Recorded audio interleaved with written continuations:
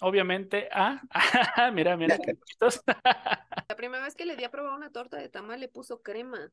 Le puso crema y fue que. Ay, este cabrón, deja este calcetín en la computadora. No importa si lo amo. Así quiero estar con él, quiero pasar el resto de mi vida con su calcetín en mi computadora, ¿no? Oye, ¿por qué los tacos de canasta aquí no los llaman quesadillas si tienen forma de quesadilla? Se quedó de, ah, no mames. Se lo pensó un rato, me dijo, es que están sudados.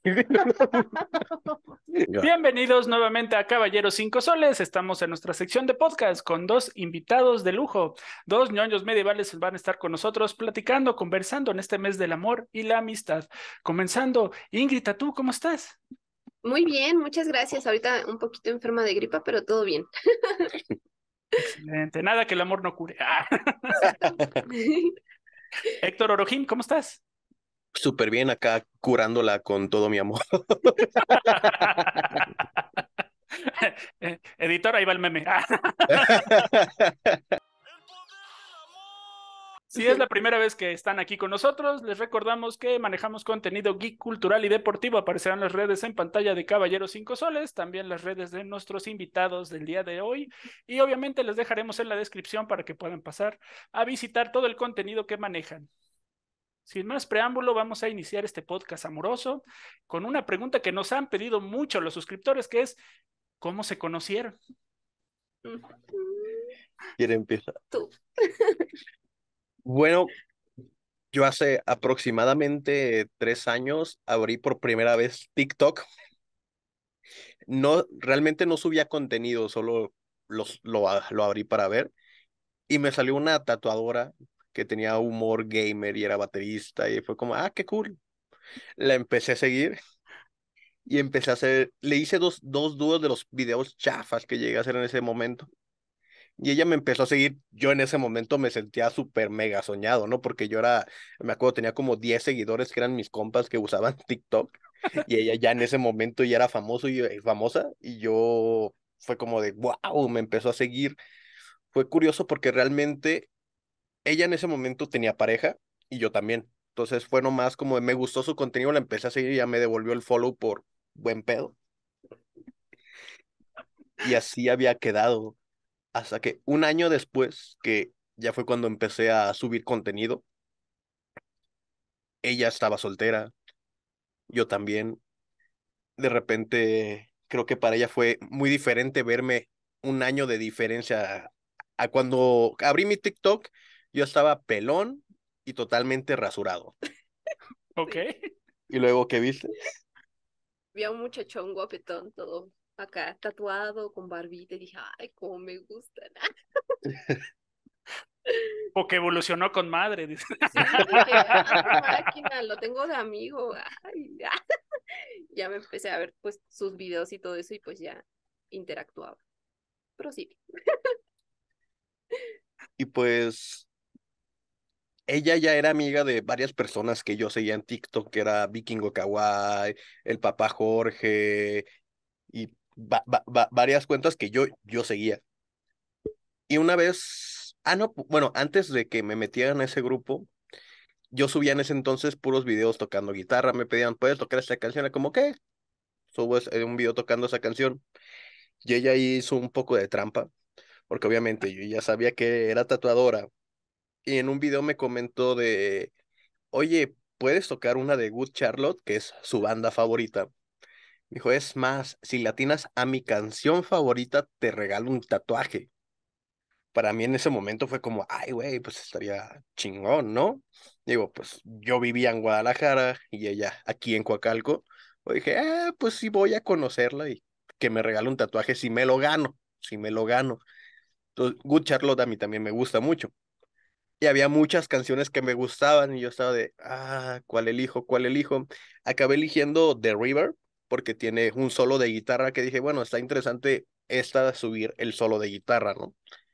A lo que ella comentó el video de, wow, latinaste, te acabas de ganar un tatuaje. Y así como de, ah, qué chingón, ¿no?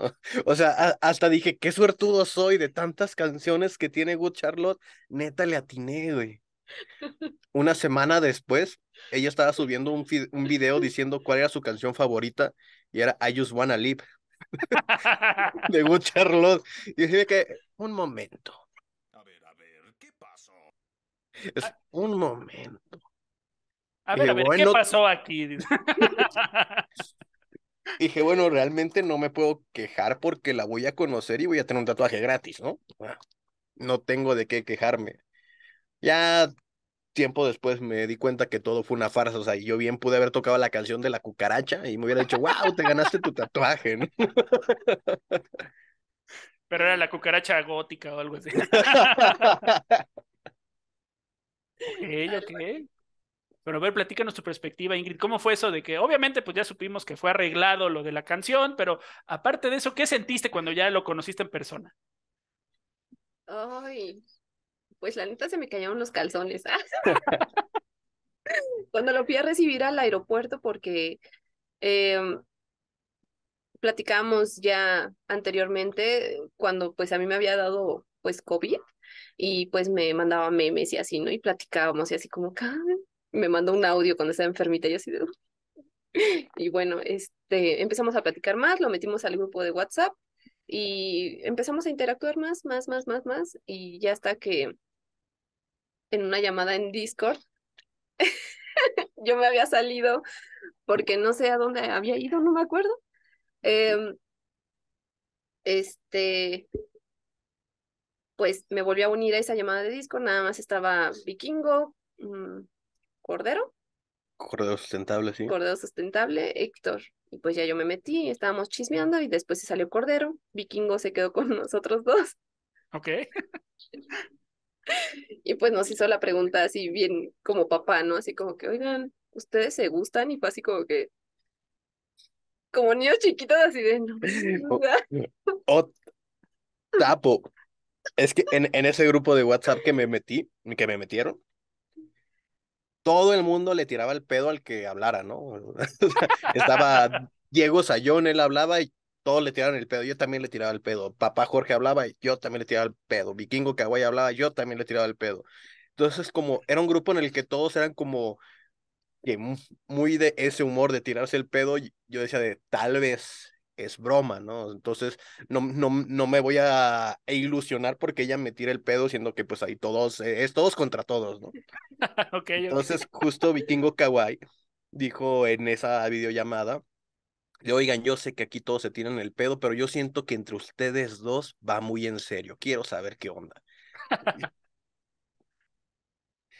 Y fu- fue para los dos como súper incómodo ahí, las tres pantallitas de, ah, chale.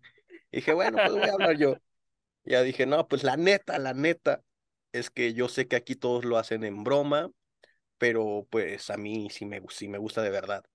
Solo no me he atrevido a decir nada porque como justo todo es broma, no estoy seguro si para ella es verdad, pero a mí sí me gusta. Y acá con cachetes de tomate.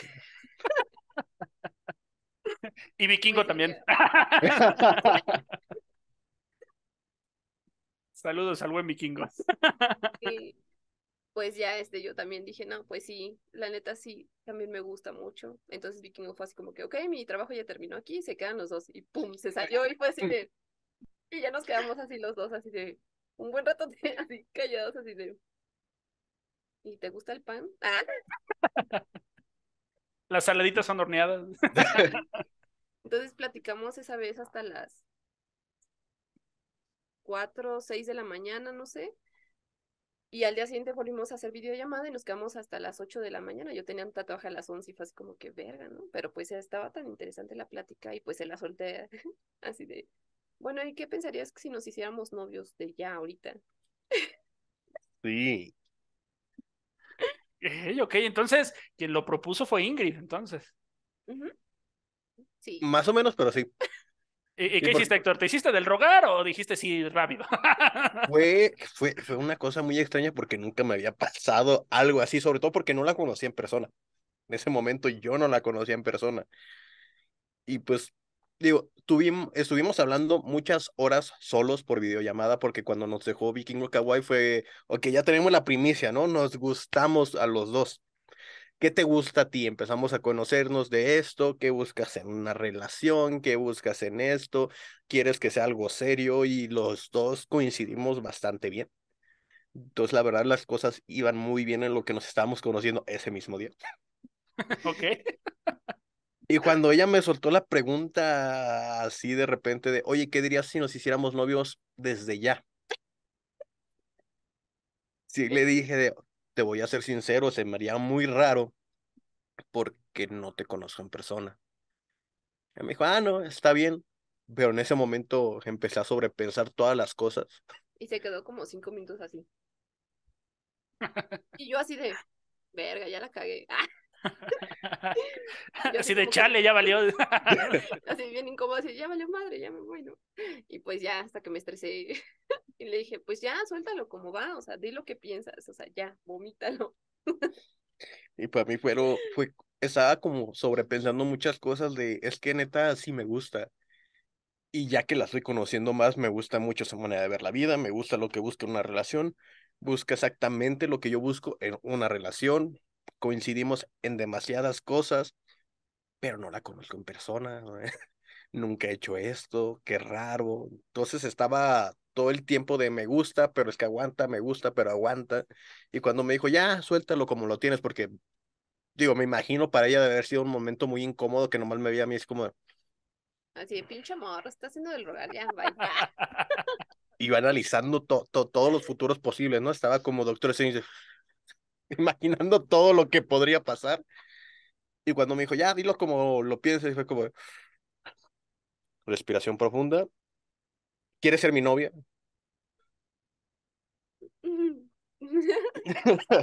Yo me cagué. ¡Ah! Y ahora no, porque te tardaste. Nah, eres bien mamón, te haces del roga. ¿no? Así de, no, ¿qué crees que ya mejor ya no? Ah.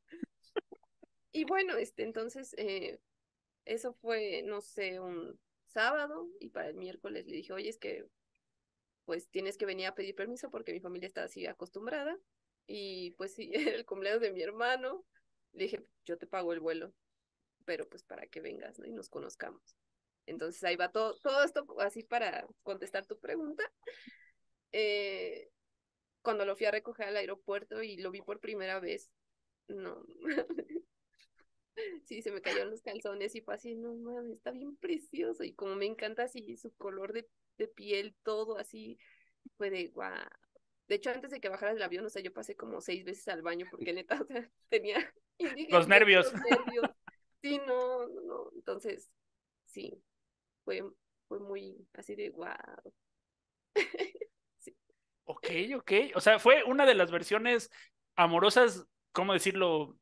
Bonitas de la historia de algo de las redes, ¿no? Porque hemos conocido muchas de que resulta que no es como aparece en la foto y todo ese tipo de cosas, ¿no? Sí, Sí. como el coreano que está en Sudamérica, ¿no? Exacto. No, no, no. Hay, hay historias muy, muy aterradoras que, que no son para el podcast amoroso del día de hoy. Me gustaría saber su perspectiva en cuestión de estos, de estos días, ¿no? 14 de febrero, según Día del Amor y la Amistad. ¿Para ustedes es más marketing o realmente sí es un día especial? Mm, Pues para mí sí son días muy especiales, pero sí estoy consciente de que es puro marketing, así como Halloween, Navidad y todo eso, pero para mí sí es muy especial, o sea, son todos los días yo puedo ser muy detallista, ¿no? Pero en esa fecha sí es así como que "Ujú, me trajo un chocolate, ¿no? Y no sé, sí se me hace especial. ¿Y a ti? Yo realmente antes no me gustaba San Valentín para nada, más que nada por malas experiencias, ¿no? Que era como de, ah, pinche día culero, ¿no? Chingue. Pero al conocerla, ella que es como, no, realmente para mí sí es un día especial, fue como, ok, pues, pues podemos hacer algo especial por ese día, ¿no? Y a partir de ahí me gustó, no porque realmente para mí ese día significa algo, sino que para ella significa. Y si hacemos algo ese, ese día, para ella va a ser especial y le va a gustar mucho. Entonces, ese hecho a mí me da la felicidad, que no necesito que ese día sea especial para mí. El hecho de que para ella les sea importante y le dé felicidad que estemos juntos ese día, para mí es todo lo que necesito. Ok. Bueno, retomando un poquito la perspectiva que me decías al principio de, no, mendigo día culero, antes de conocer a Ingrid, obviamente, creo que varios hombres nos, nos sentimos identificados con eso, porque hay presión social en ese aspecto, ¿no? Porque muchos hombres dicen, el 14 me voy a declarar, ¿no? A, la crush que tengo desde hace muchos años, todo ese tipo de cosas. ¿Te pasó alguna situación así? Mm, no, nunca me declaré en San Valentín exactamente. Con relaciones pasadas sí fue como, no, no, no, no fue un día exactamente grato, cuando para mí llegó a ser importante más que nada por el marketing que veía en todos lados, ah, sí, tiene que ser un día bonito. Sí, nunca tuve como, como decirlo, esa, ese feedback, es, cosa que con, nun- nunca fue como exactamente ¿Mutuo? mutuo, eso, nu- nunca fue exactamente mutuo. Entonces llegué a tener experiencias que dije, ah, pues la neta no, no vale madre ese día, ¿no? Nu- Nunca tuve esa conexión mutua con alguien de que vamos a celebrar un día o vamos a estar juntos y vamos a ser felices. ok, ok. Hasta ahora. ¿Y tú, Ingrid, cómo fueron tus perspectivas o tus experiencias antes, obviamente, de Héctor? ¿Los 14 de febrero los pasabas bien, mal? ¿Cómo fue esa Uy, situación? am, pues sí me llegaban a tocar igual malas experiencias de que yo, yo soy una mujer muy detallista, o sea, yo también, eh, por ejemplo, el Día del Hombre es así como que feliz Día del Hombre y te doy florecitas y chocolates y soy muy así porque también los hombres merecen eso, ¿no? Merecen esa atención. Entonces yo sí, pues preparaba mis regalitos y todo eso y pues hubo un hijo de la chingada que nada más me dio una paleta, ¿no? Y fue así como que chingas a tu madre, cabrón. ¿No? Así de qué poca madre. Sí, qué poca madre, ¿no? Ah, pero a pesar de que eran esas cosas, fue así como que, ok, yo me estoy esmerando y nunca fue así como que, pues pinche día culero, porque no, fue así como que, ok, no recibí lo mismo que di, pero yo voy a seguir siempre dando lo mejor de mí, ¿no? Para, pues, diferentes personas, porque no todos son iguales, ¿no? Pero, pues, así. Ok. En cuestión de ya estar como pareja, obviamente por las redes sociales, hemos visto que ya viven juntos. ¿Cuáles han sido las experiencias que han tenido? ¿Han tenido pues, buenas, malas? ¿Cómo ha sido así ese proceso? Uy, complicado. De todo. de todo, la verdad, mm, no es un proceso fácil vivir juntos. No es como la pintan de que "Ay, felices para siempre y juntos y así, porque realmente cuando dos personas viven juntos eh, nos conocemos más a fondo, así de que qué mañas tiene, qué malos hábitos tiene, cómo los vamos a manejar y demás. Y la verdad, no todo ha sido bueno, pero este, pues comunicándonos adecuadamente, hablándolo, hemos podido conciliar como que algunas cuestiones. Entonces, pues seguimos trabajando en eso porque diario se tiene que andar trabajando pues las relaciones. Y así. Sí, obviamente, pues cada uno estaba acostumbrado a vivir de su propia manera, ¿no? Y, al unir dos maneras totalmente opuestas, sí, fue un choque de, oye, a mí no me gusta esto, y, pero pues el que me gusta esto, y sí, es, es complicado. O sea, la verdad, eso de, del amor incondicional y felices para siempre y por siempre y te acepto de todas las maneras que pintan, eh, creo que es totalmente falso. El mayor creo que realmente el amor incondicional no existe y si existe es más que nada falso, ya que un amor es totalmente condicional. Yo obviamente siempre trato de procurarla, trato de dar lo mejor de mí y si en algún momento fallo en eso, claro que ella la va a decepcionar claro que ella se va a empezar a sentir menos atraída por mí. Igual a la inversa, si ella dejara de ser detallista o si le empezara a valer madre por completo, pues yo no sería incondicional, yo sería así como de, ay, güey, pues la neta es que esto no me gusta a mí. Y creo que esa es la manera más sana de llevar una relación, porque el amor incondicional, si lo piensas, es bastante tóxico. O sea, tú puedes ser, hacer lo que quieras y yo te voy a seguir amando. No. Una persona sana no, no hace eso realmente. Entonces, pues sí, ha sido muchas charlas, obviamente ha habido discusiones, pleitos, de, de todo, pero al final de cuentas es como de, ok, ¿sabes qué? Yo te amo, Tim. Haces una balanza, siempre existe esa balanza de hay estas cosas que no me gustan, pero está esto que sí me gusta.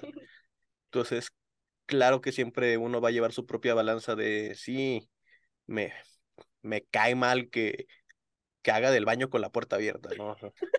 El portavasos. Pero me encanta que es detallista conmigo, me encanta demasiados aspectos de ella que siempre en la balanza han pesado muchísimo, muchísimo, pero muchísimo más.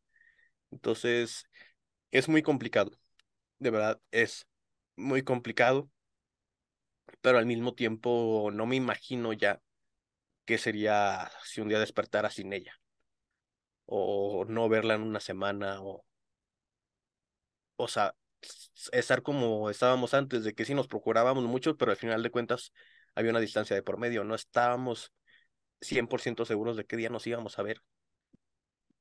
Ahorita no podría estar sin esa certeza de que la voy a ver mañana, sin importar si estamos peleados, si estamos enojados o si estamos súper felices. Yo la quiero ver mañana al despertar.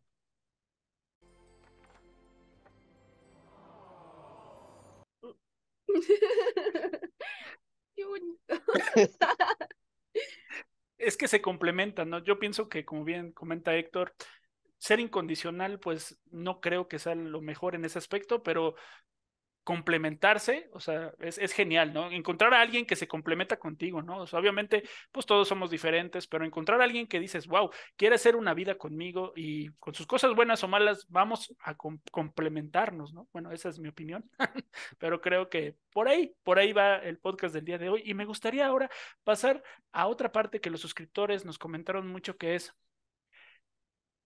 ¿qué tan complicado es?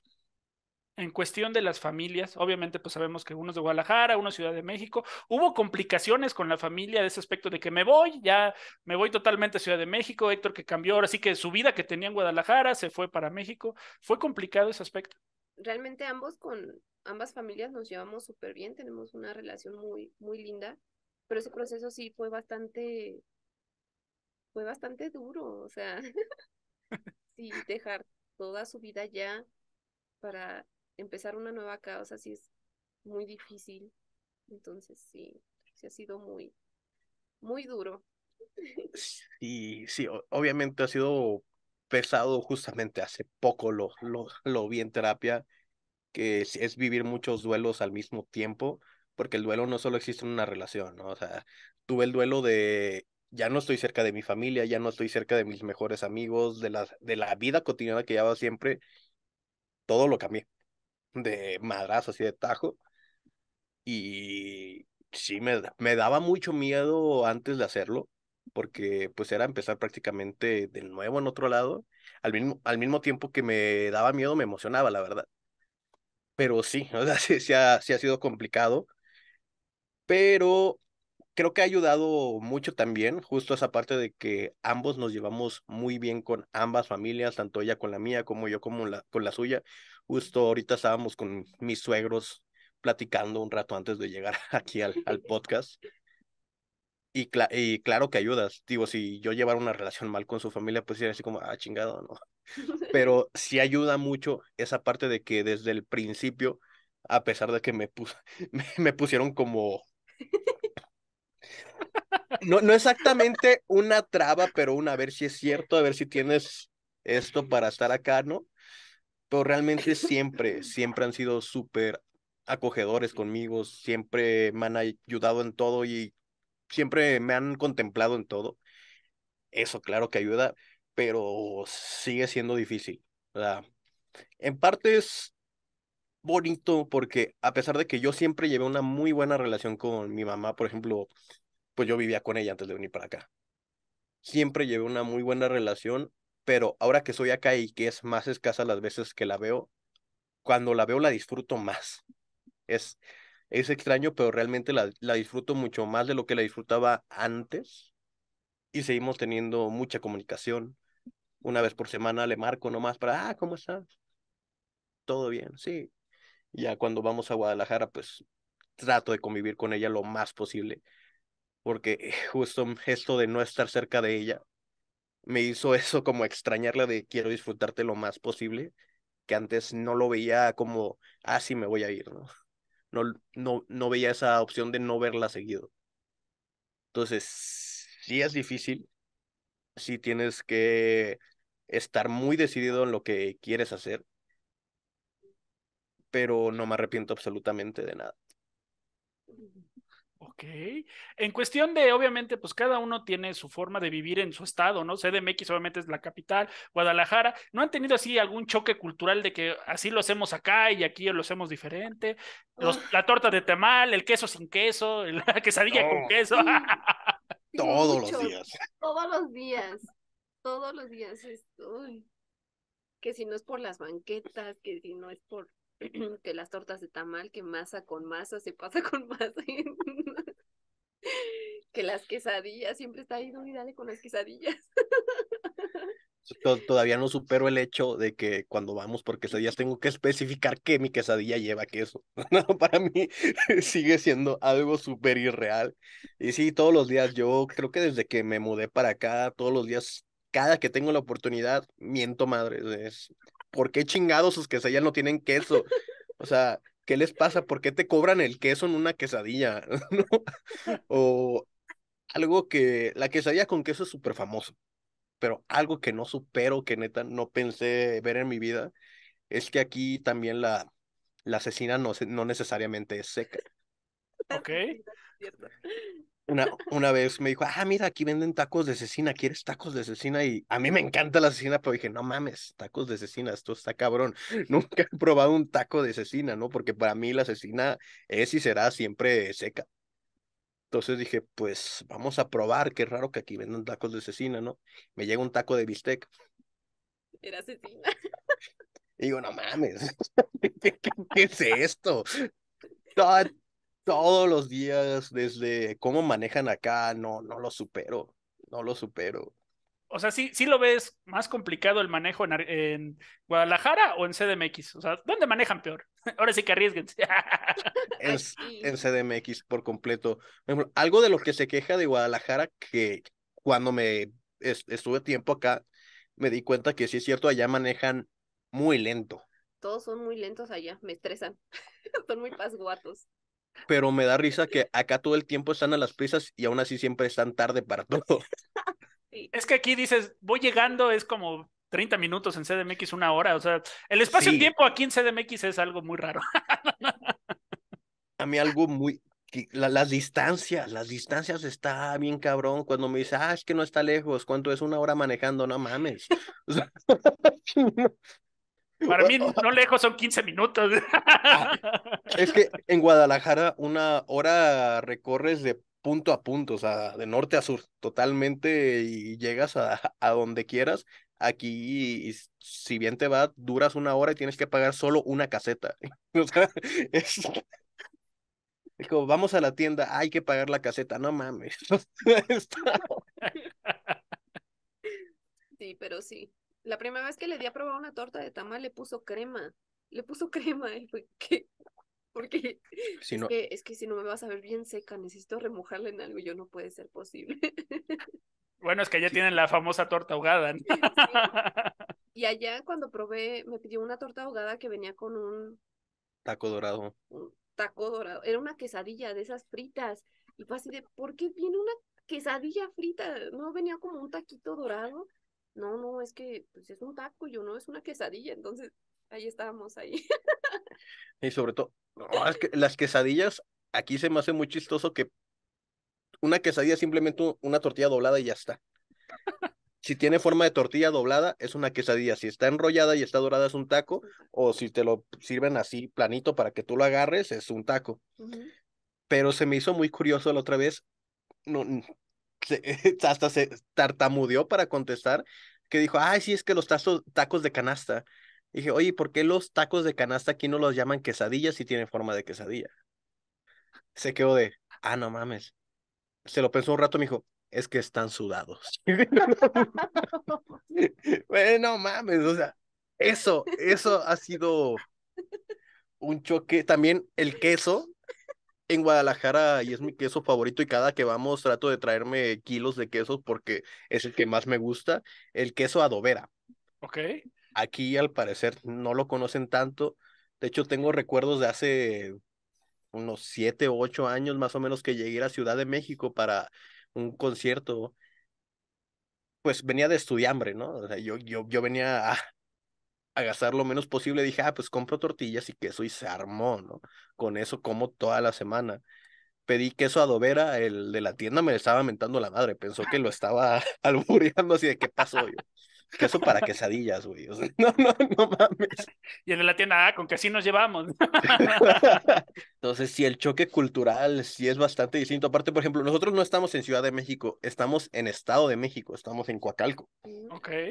Yo antes de venir para acá, cuando vi en Guadalajara, para mí era, era la misma chingadera, ¿no? Para mí era el DF y se chingó el defecado. De fesote y de fecito. No, no, no entendía la diferencia hasta que ya que estuve acá fue como, ok, la Ciudad de México es una cosa grandota que está en medio, y el Estado son un chingo de mamadas que está alrededor.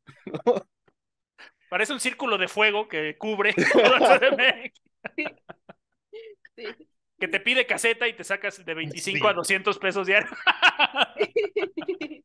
Sí. Y aparte es muy chistoso porque yo no entiendo esa parte, pero todos los amigos que conozco que son de Ciudad de México tienen miedo del Estado de México. Pero todos los amigos que son del Estado de México tienen miedo de Ciudad de México. Entonces, sí es como de, ah, para mí son chilangos, ¿no? Es lo mismo. Dicen, es que valedor no mata valedor.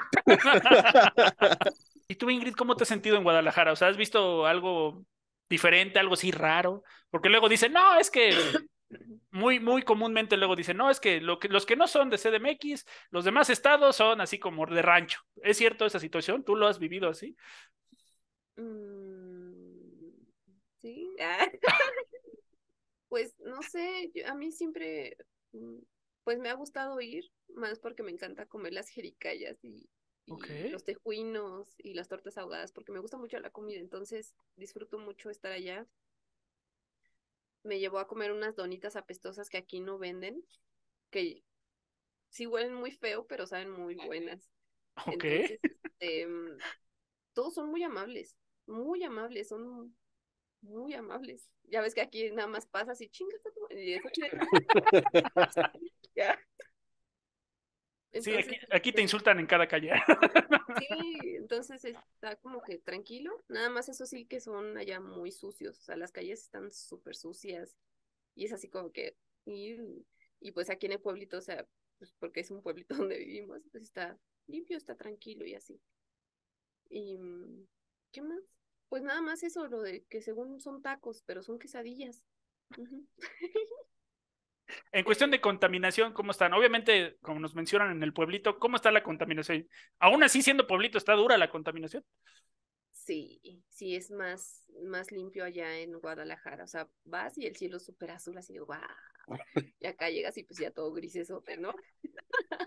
Sí, sí, que si cambian los colores cuando llegues acá, así es como, ah, cabrón, ¿por qué todo está más Sí, tenue? ¿por qué todo está tan tétrico, no? Y así. Ah, y lo que no tolero de allá, así de plano, son los mosquitos. Hay mosquitos Eso sí. siempre, o sea, e- es invierno mosquitos, primavera mosquitos, siempre hay mosquitos por todos lados y siempre termino toda picoteada de los moscos y es así como que... Continuando con el podcast muy amoroso que tenemos el día de hoy, vamos a pasar ahora, obviamente, a... mira, mira, qué. Vamos a pasar a sus personajes de los ñoños medievales. Obviamente, pues se pasó lo de la pareja, ¿cómo decirlo? La pareja real, por así decirlo, a la virtual o a la ñoñoñesca. O sea, también sus, sus personajes de rol también son novios, también tienen una relación. Sí. Sí, son esposos. Ok, ¿nos pueden platicar un poquito sobre cómo fue ese proceso? Fue chistoso como empezamos. Cuando, cuando empezamos con ñoños medievales, yo no sabía que a ella le gustaba todo este rollo.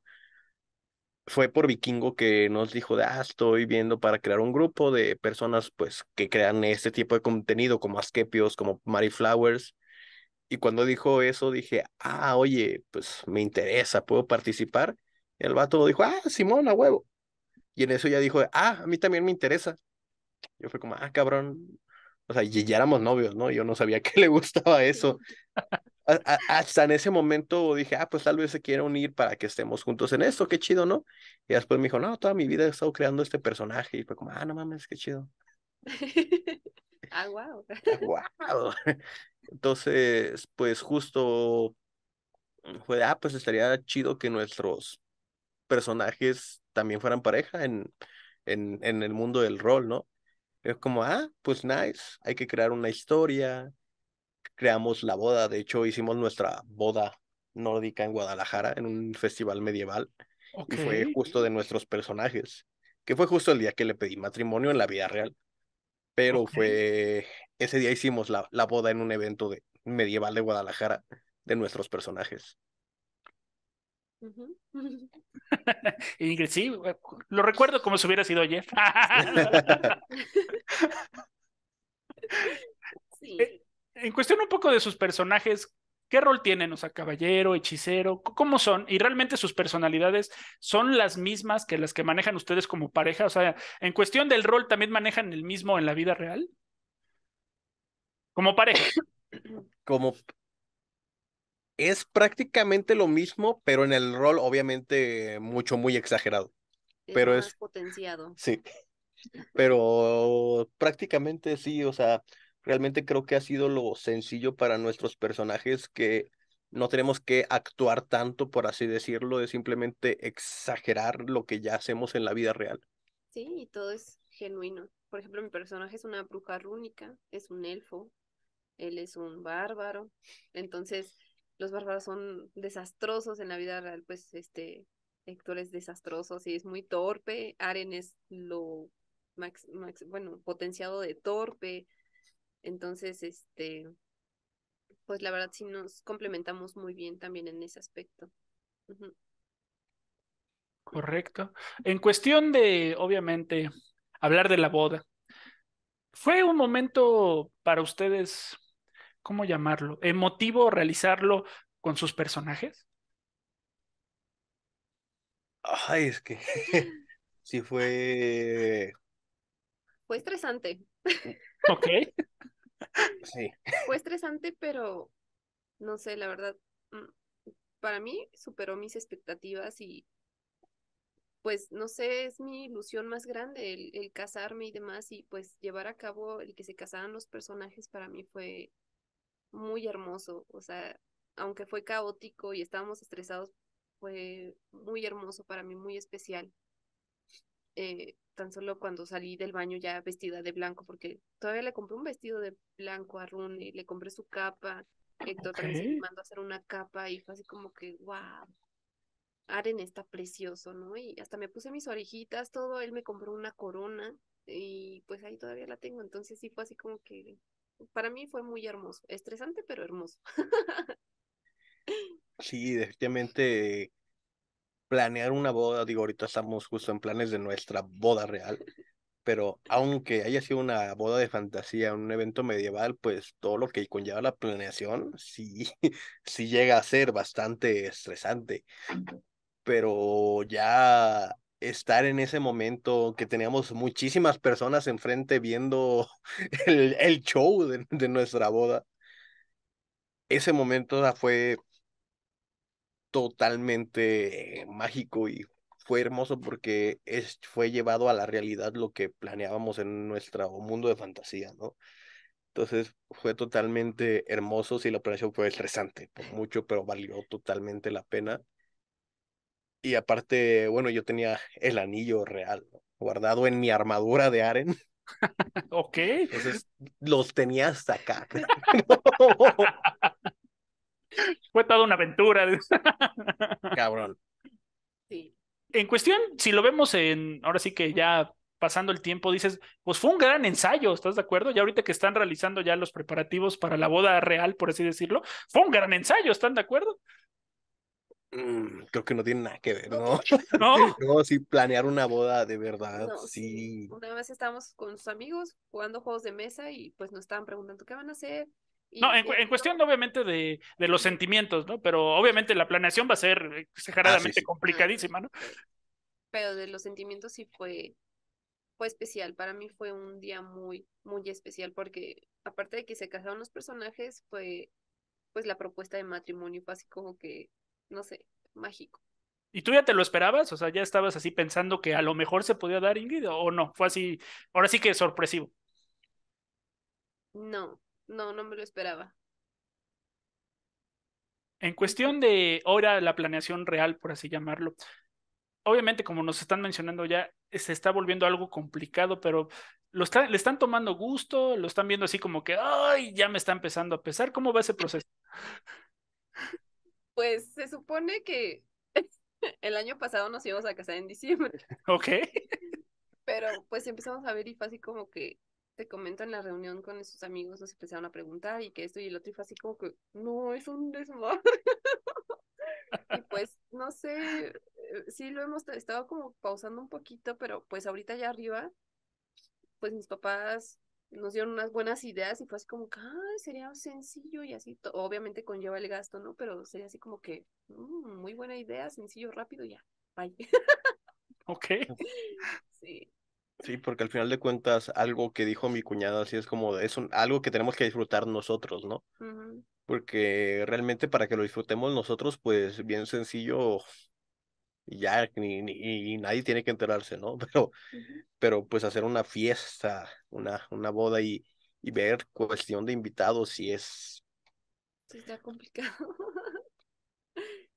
Y pues ya, no, no me acuerdo si fue hoy en la mañana o ayer, no sé, pero dije, oye, si ya nos casamos por el civil, pues ya más rápido. Y pues ya me dijo, no, es que sí quiero cumplirte pues tu sueño. Entonces fue así como que, "Mm, ok. Ok. Para, para cerrar el podcast del día de hoy, me gustaría que nos dejaran para, obviamente, las parejas que están iniciando o las parejas que están pensando en irse a vivir juntos, algún consejo que tuvieran para ellos. Mm, mucha paciencia, mucha comunicación. Es súper importante mantener una comunicación firme y certera. Si no hay esas dos cosas, no esperen a triunfar porque el amor no lo es todo. El amor se va viviendo día a día al conocer a tu pareja, los malos hábitos y demás. Es cuando dices, ay, este cabrón deja este calcetín en la computadora. No importa si lo amo. Así quiero estar con él, quiero pasar el resto de mi vida con su calcetín en mi computadora, ¿no? Entonces, mucha comunicación, mucha paciencia. Sí, creo que la comunicación es lo más esen- esencial y conocerse, aunque tienen que tener en claro, por más que se conozcan, nunca van a acabar de conocerse. O sea, cada persona es un mundo, su manera de vivir es un mundo entero, muchas cosas, y por cada vez la vas a conocer mejor, o lo vas a conocer mejor, o le vas a conocer mejor. Pero sí, o sea, tienes que tratar de conocer a la persona y no solo dejarte llevar por expectativas. En verdad, dedícate a conocer a la persona y también dedícate a poder tener la paciencia y esa confianza de tener la comunicación, que va a ser lo más esencial. En verdad, yo sé que suena muy cliché, que todo el mundo dice eso, pero sí, la comunicación es lo más esencial cuando empiezas a llevar una vida de pareja, sobre todo ya cuando viven juntos. Sí, claro, porque es muy sencillo, es de, ok, el amor de mi vida y todo súper feliz y jaja, hogar feliz, ¿no? Eh, van a haber cosas que, por ejemplo, a mí no me gustan de meloncillo y a él no le gustan de mí. Nada más es cuestión pues de platicarlo bien y llegar a un buen acuerdo. Y ya, es todo. Está complicado, pero sí se puede. Y está muy padre, es muy padre. Ya cuando hay más esa confianza de que pues amanecemos y hola mi amor y es así como que mm. ¿no? así como que que estás dispuesto a aceptar de tu pareja porque más que nada es aceptación porque obviamente no lo vas a poder cambiar solo es aceptación y llegar a acuerdos. Correcto, queridos suscriptores, por favor, no echen a saco roto todos los consejos que nos han dado el día de hoy nuestros invitados. Muchísimas gracias por platicarnos toda esta bonita historia que ha sido su relación y que obviamente pues viene un gran capítulo que es la boda y de ahí pues grandes más capítulos. Les deseamos muchas bendiciones y por favor platícanos en qué redes los podemos encontrar. Ok, a mí en TikTok me pueden encontrar como Ingrid Soto 1, en Instagram como Ingrid Somo, en Twitch como Ingrid18. Tengo distintos nombres, perdón. Y en Facebook estoy como Ingrid Tattoo Studio. Ok, Con, Conmigo está más fácil, no, no, no me gusta complicarme la vida. Héctor Orojim en todos lados. Estoy en Twitch, en Twitter, en Facebook, en TikTok, TikTok y en Instagram. Héctor Orojim, para todo. Y se chingó, ¿no? No, no, se rompan la cabeza. Ok, ok. Agradecemos mucho que pasen a ver a nuestros invitados y todo el contenido que manejan. Y también si aún no están suscritos a Caballeros 5 Soles, aparecerán las redes en pantalla. Manejamos contenido geek, cultural y deportivo. Muchísimas gracias Héctor, Ingrid, por haber estado con nosotros. Ha sido, la verdad, un gustazo conocer un poquito más y obviamente en estas épocas que es del amor y la amistad lo dejamos para otro podcast. Nos vemos en la próxima emisión. Muchísimas gracias por vernos. Bye bye. Bye. Chao. Gracias. Gracias por ver este video. Si aún no estás suscrito a Caballero 5 Soles, te agradeceríamos mucho que nos regalaras un follow, porque así nos vas a ayudar a crecer muchísimo. También aquí te dejo más videos del canal para que conozcas más de nuestro contenido. Y sin más, nos vemos en el siguiente video. Bye.